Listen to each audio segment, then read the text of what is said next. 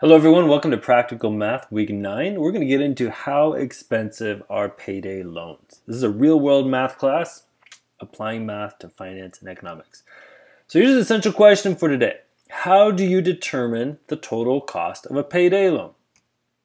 All right, well, as we dig into that, we're going to determine payday loans, talk about what they are, given the amount that you finance, finance charges, and the terms of the loan in weeks. We're going to get into some graphing. We're going to graph the relationships between the number of times a payday loan is renewed and the total cost of the loan. We're going to rearrange the equation for a total cost of the payday loan to determine finance charges. And then we're going to get into this thing called the APR. That's the annual percentage rate of a payday loan and compare it to APRs of other loans. So take notes, use this video, have it open as you're working through the quiz, as the problems this week. Um, let me know if you have any questions as you're working with the assignments. We're on week nine. We're three quarters of the way through the first semester. All right, here's a scenario. What would you do? Your car that you rely on for work breaks down. Bummer. You take it into the shop and they say it's going to cost you $300 for you to get it fixed. However, what would you do if you didn't have $300 saved? It's a predicament lots of people face, right? Many people find themselves in some sort of situation like this. It's an unexpected cost that they're not financially ready for. And one way of problem solving or getting money fast for emergency situations like this is through what's called a payday loan. A payday loan might also be called a cash advanced or a check loan. It is a short term loan generally for $500 or less, that is typically due on your next payday. So if you get paid every two weeks or if you get paid once a month, it's sort of borrowing money that you're going to get paid for the emergency that you have right now. Payday loans generally have three features. Their loans are for small amounts. The loans typically come due your next payday. That's why I call payday loans and you must give lenders access to your checking account or write a check for the full balance in advance that the lender has an option of depositing when the loan comes due. Other loan features can vary. For example, payday loans are often structured to be paid off in one lump sum payment. But there's also interest only payments, renewals, or rollovers are not unusual as well. In some cases, payday loans may be structured so that they are repayable in installments over a longer period of time. Some ways that the lenders might give you the loan funds include giving you a cash or check right up front. So you give them your checking account or you give them a check and they give you cash right then and there. They may give you the funds on a prepaid debit card that you could then use to cover your emergency. Or if you give them your check, they can electronically deposit the money right into your checking account right there, knowing that you have to then pay it back in a little bit. Here's the big catch. A payday loan, people are giving you money, but it is not for free. Yikes. So, the cost of the loan, right? These payday loan companies want to make money, is called the finance charge. And it may range anywhere from $10 to $30 for every $100 that you borrow. A typical two week payday loan with a $15 per $100 fee equates to an annual percentage rate, that's an APR, annual percentage rate, of almost 400%, which is really, really high. By comparison, the APR on credit cards, if you take out that Visa card or Discover card or something, it ranges from about 12% to 30%.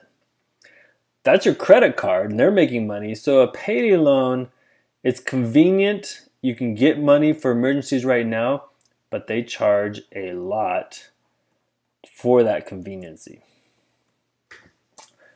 In fact, they charge so much that state laws and other factors can influence how much you can borrow and the fees you are charged. Some states do not have payday lending storefronts because these loans are not permitted by the state's law. Generally, what happens is people who don't have very much money take out the payday loans, and so it's an exploitation of people who don't have very much money in the first place, taking advantage of their situation. So, some states actually do not even allow payday loans, or because lenders may not choose to do business in a state rather than by the state's regulations. So some states make it really hard for payday loans to do this kind of stuff, but some states do allow it. It's increasingly become an issue over the last five, ten years. There are also special protections through the Military Lending Act for active duty service members and their dependents who use certain payday loans and other small dollar credit products. So that this is a really big point I want to make is payday loans understanding what a loan is and how certain loans work and the cost of these loans is kind of the whole point of this lesson. And so even though we're talking about payday loans, it'll help you see other loans like school loans, credit card loans, car loans, have a better understanding of how you pay for these loans and how expensive they can be. Okay, we're going to watch a video showing a scenario of just how expensive a payday loan can become.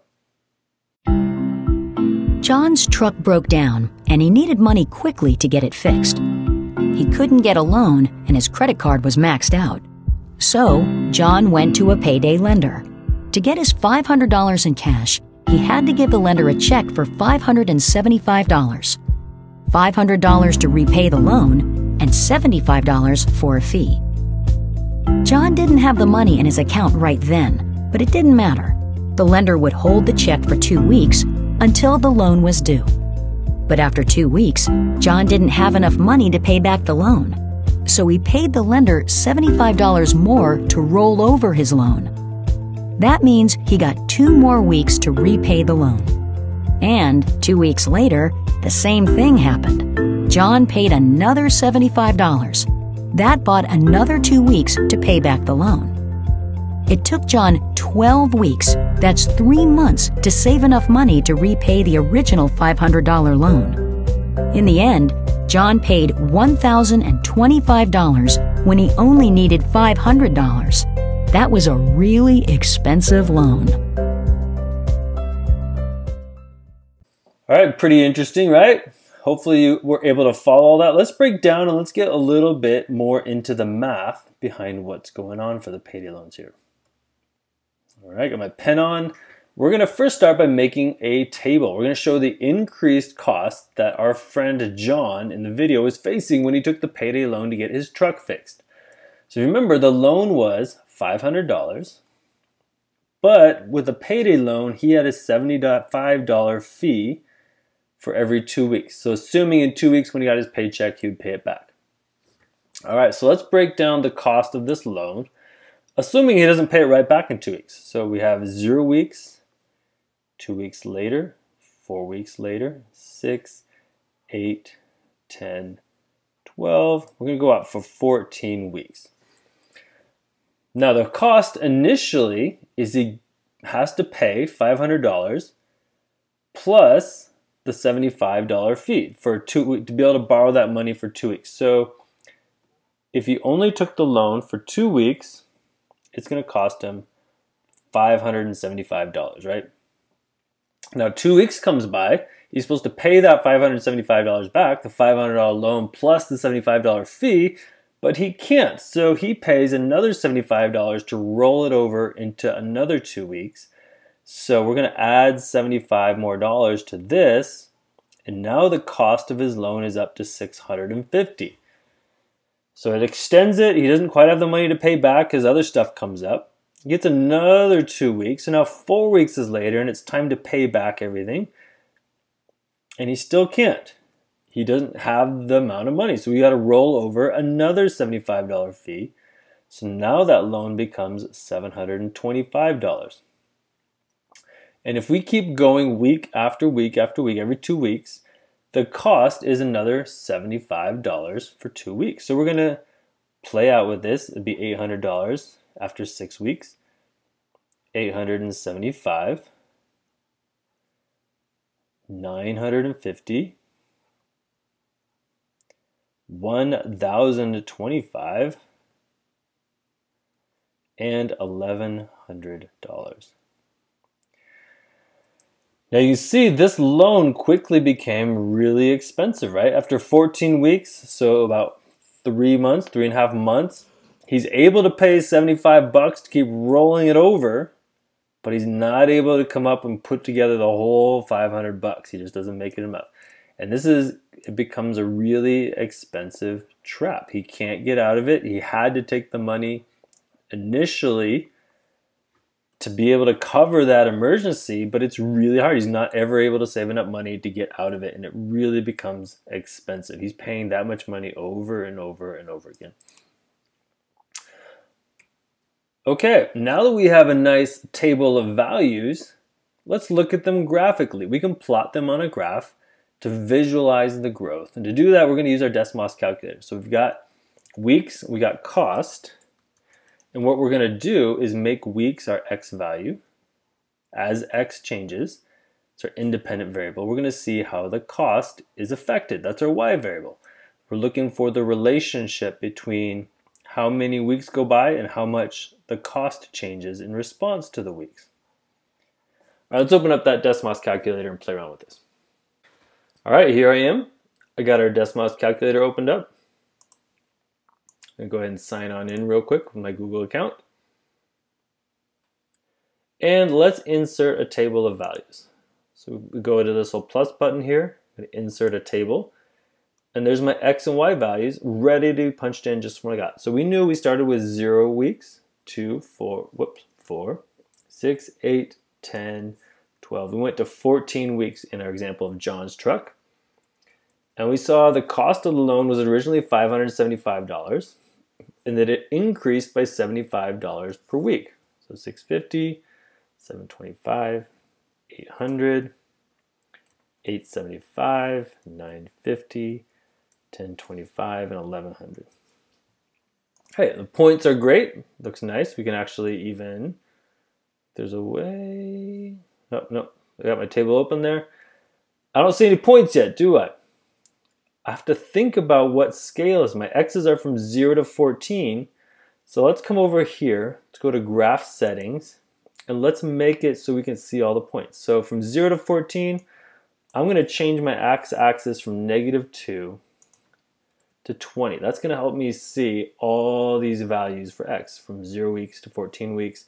I extended a little bit because I like being able to see 0, 0 and getting a big picture of stuff. And so I went a little bit beyond 14 as well too. So I want to see the total graph. I don't want to be cramped. Now the y values are interesting. I'm starting at 575 and going to 1100, right?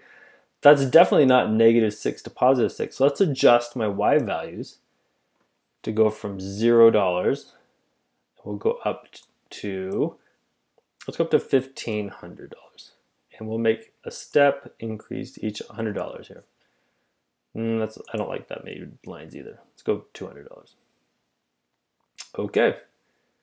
Now we've adjusted our graph. We can really see each of the points that we graphed, right? And if you remember, so four weeks, after four weeks, I'd come down here on the X value for four weeks it's costing $725. So on the y-axis, it should line up right around 725. And there's all of our points. It looks like they form a nice straight line, right? So probably, if we're thinking about what we're learning, we're thinking about our algebra that we've learned before, we probably have ourselves a linear equation here. We have a situation where things are growing by the same rate over and over again, and we can probably come up with an equation that fits these series of points. Right, let's go back to our PowerPoint here, and we'll start playing around with an equation. Here I have my table. Here's the graph that we plotted. Now let's actually try and come up with an equation, a line that fits this graph. So think about, think about what patterns we were playing with, right? We started at $575. That was the original cost of the loan. So in any sort of equation, we need to start with some number and look at the pattern from there. Now, once I start at that point, what is the change happening over and over and over again here? Well, every two weeks, it increased by $75, right? That was his fee, $75 per two week. So we can write a ratio of $75 per two weeks, which turns into a rate of 337.50 per week. With a linear equation, we love that rate. We love to know how often per one. So every time x changes by one, we increase by 37.50. By one, 37.50, and so on. Let's put together that in an equation now. So we change colors. So if I was to say my y values, the cost of the loan, is equal to, well, he originally paid $575.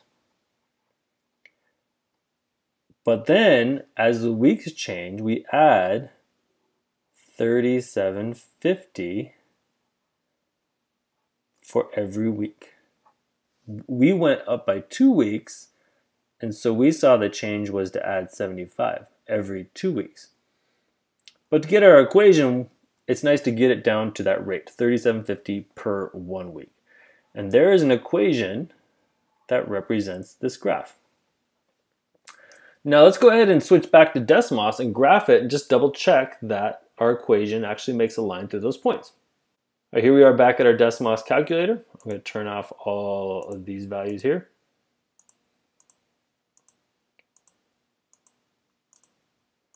And we came up with an equation. We said the cost, my y values, is equal to $575 the starting value plus 3750 per week x. And look at that. We have an equation that goes right through all of the points like so. Now, some things to keep in mind, however, is with this equation, it's saying uh, right now, if I do on this point right here, there's an x value of 0.9 and a y value of 608.75, which means if he has this loan for 0.9 weeks, he's going to owe $608.75. Now, I don't know in the context of this loan, but I don't know if that's possible. I think he pays 75 bucks and that covers the whole two weeks until he rolls it over the next one. So really, only these points make sense in the context. He can't have in between zero or two weeks or in between two or four weeks. It's only at two weeks that the loan changes, and it's only at four weeks that the loan changes. So keep in mind the context, even though we have a nice equation that relates x and y together, the equation doesn't makes sense for every x and y value, especially when you think about negative, right? This equation can get into negative 1.5 for an x value and 518.75 for y value, but negative one and a half weeks to only pay $518.75 doesn't make sense either. So there's certain values we ignore realizing the context of this problem. But as we got a nice equation, we could use this to predict what if he went 52 weeks, right? What if he went the whole entire year and just couldn't pay back? Then we could calculate, put 52 in for x and calculate the total cost of the loan. Okay, so there we go. That was introducing payday loans. They can get really expensive. We made a graph, a table, and an equation to model what was going on for this problem. Let's look at another problem here just to play around with another example and make sure we really got this idea down. So here we go. Laura takes out a payday loan to pay for her son's emergency room bill of $400. The payday lender charges her 60 bucks for every two weeks. There's her fee. She has to roll over the loan five times before she can finally pay it off. So, what was the total cost of her loan? We got a formula here that is kind of nice to help us work with. So, T represents the total cost.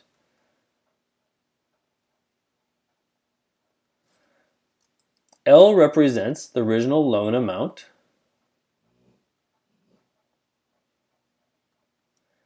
F represents the fee, and R, in our case, is the rollover. How many times does she roll over?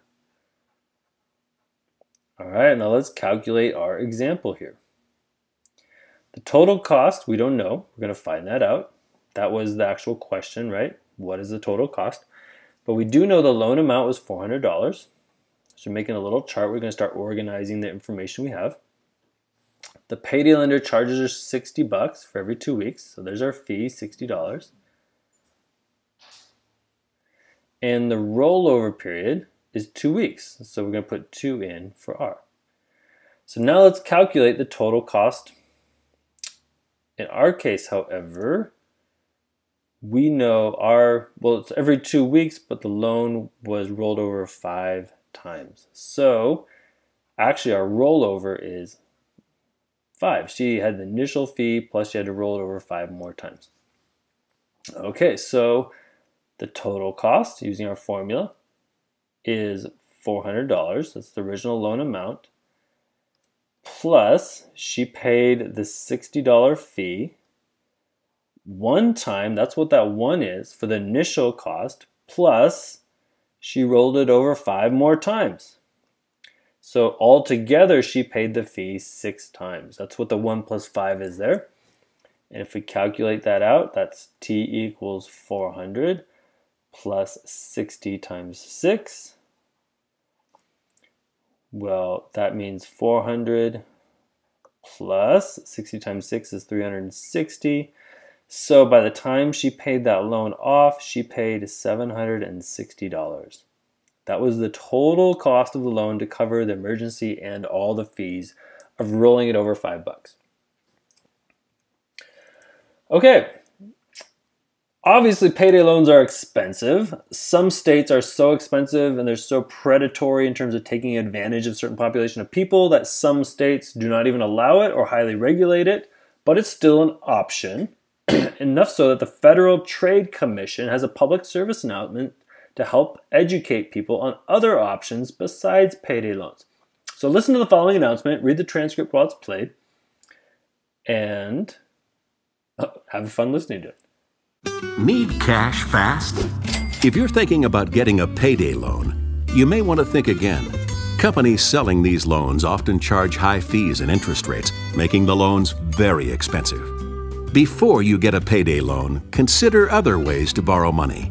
Ask yourself Can I get a loan from a bank or credit union? Can I get more time to pay my bills by talking with creditors or a credit counselor? Do I have any money saved that I can use? Can I borrow money from family or friends? Can I use a credit card instead? And don't stop there. Compare the costs between your options. Ask the companies What's the annual percentage rate? What are the fees? How soon must I repay the money? What happens if I can't repay? So if you need some cash in a flash, remember, you may have options besides expensive payday loans. Check out FTC.gov to learn more. A tip from the Federal Trade Commission, the nation's consumer protection agency. Okay, one last thing we're going to get into is this idea of APR. One way to help you be smarter about which loans to take out is by knowing the APR, the annual percentage rate or the APR, is the percentage cost of credit on an annual basis and the total cost of credit to the consumer. It includes any fees associated with the loan. It is the percentage of the principal of a loan to be paid as interest in one year. Interest is the money paid at a particular rate for the use of borrowed money. So when you take a car loan, or a credit card loan or a student loan or a house loan, you're paying back the loan plus fees plus interest. And the APR helps you see what is the annual percentage rate and how much are you paying back each year out of that loan? What's the cost of the loan to you? So in the United States, we have what's called the Truth in Lending Act. It requires that all loans, including payday loans, need to advertise what the APR is. It's telling you, here's how much you're going to pay to get this loan. And it's a great way to compare loans, to be a smart shopper, and to know what you're getting into ahead of time when you take a loan out. There's a math formula we use to help calculate what the APR is for a loan. So the APR equals the finance charge divided by the total amount financed times, remember it's APR, so it's for the whole year, the annual percentage rate. So we need to play that out over a whole year. How many weeks in a year divided by the number of weeks in the term of the loan, and you multiply that by 100. So if we take a payday loan, for example, here, what is the APR on a payday loan that is a $600 loan with a finance charge of $60 per two weeks. Now we're going to assume for this case that you pay it off in two weeks. So you have the finance charge, $60, divided by the total amount financed. We financed $600. So I'm going to do 60 divided by 600 times the number of weeks in a year, that's 52, divided by the number of weeks in the term of the loan. Well, we're taking a two week loan, so I need to divide that by two. And then finally, we multiply it by 100 because it's the annual percentage rate, so it's out of 100. Okay, let's calculate the APR on this loan. So 60 divided by 600 is 0.1 times 52 divided by 2 is just 26 times 100. And if I multiply all these together, it ends up equaling 260. What does that 260 mean? It means the APR equals 200 and whoops, not not a that's not a cost. It's an annual percentage rate, so it's 260 percent. That means if you play it out over a year, this is the cost of your loan. It's the loan of 100% plus you're paying back 160% of it. It's a really expensive, expensive loan. If an APR was zero, it means there's absolutely no cost. It means you're borrowing the money and paying it back and there's no cost to it. So 0% APR just for comparison purposes, APR means no cost.